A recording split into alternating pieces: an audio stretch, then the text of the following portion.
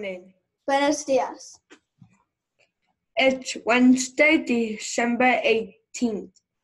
It's a C day today. Today is dressed as a holiday character day. It'll be cool to see what everyone is wearing. Tomorrow, the student council invites to you to make a choice. You can wear your best holiday clothes or you can choose your ugliest holiday sweater. I can't wait to see what everyone does. In other news, th- this week our Lego Center is Winter Wonderland. Take a look at what kids have built for a village of snowmen, penguins, and polar bears. That's all for today. Adios.